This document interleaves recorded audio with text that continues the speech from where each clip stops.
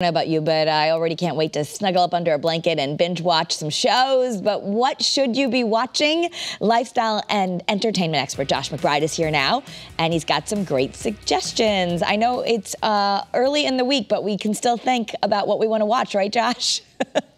Yeah, I mean, it's the holiday season, and what says holiday more than laying in bed, laying on the couch, surrounding yourself with family or friends, maybe opening a bottle of wine, uh, and, and, having a, a, good new Netflix flick, so a new show to start maybe with the family. So I got a couple things uh, to tune in for. Okay, all right, let's start with your first pick.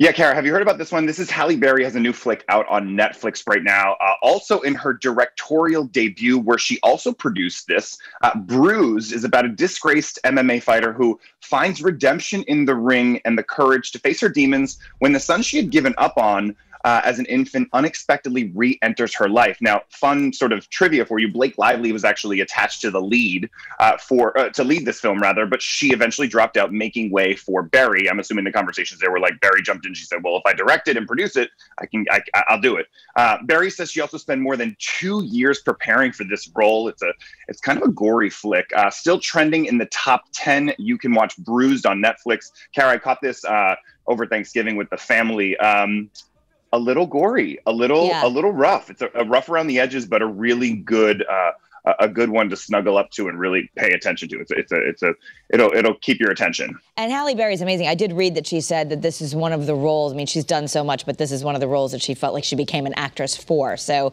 uh, as long as probably not the one you want to be looking at your social media feed. You want to just really pay attention.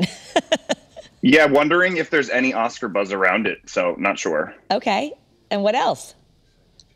Uh, yeah, this one was really good. I caught this last night. This is a holiday film uh, you should check out. It's called Single All the Way. It's on Netflix. Now, the cast, Kara, is really insane. It's Michael Urie, Jennifer Coolidge, pause for even just saying those two, uh, Kathy Najimy, uh, Philemon Chambers, and a roster of others star in this movie about Peter, who is desperate to avoid his family's judgment about his perpetual single status. This is starting to sound familiar. He then confides uh, in his best friend Nick to join him for the holidays and pretend that they're in a relationship. Now, Kara, technically, this is this is this is going to be a big movie, or it is a big movie right now, uh, because it's Netflix's first gay holiday rom com. A lot of first there, uh, which is big for, of course, the media giant. Uh, you can catch this funny rom com on Netflix. Kara, if you're if you're a sap like I am, there was some tears flowing last night by the end, I'll be honest. okay, sappy and tears. That's good. That's good. I like those. Yeah. Uh, and then I, I know you.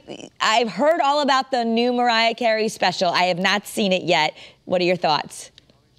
Yeah, caught a, caught a, caught a little bit of it, hot off the presses, and Apple TV. Mariah Carey's "The Magic Continues" just debuted globally uh, this past Friday. Uh, the special revealed the first and only performance of multi-award, multi-Grammy award-winning global icon, of course, Mariah Carey's new single uh, "Fall in Love at Christmas." In the special, Khalid and Kirk Franklin join her uh, alongside her 10-year-old twins, Moroccan and Monroe. Uh, what says Christmas more than Mariah Carey? Not so sure. You can catch this on Apple TV. Love that she incorporated the family here. Uh, only caught a couple uh, little bites of it.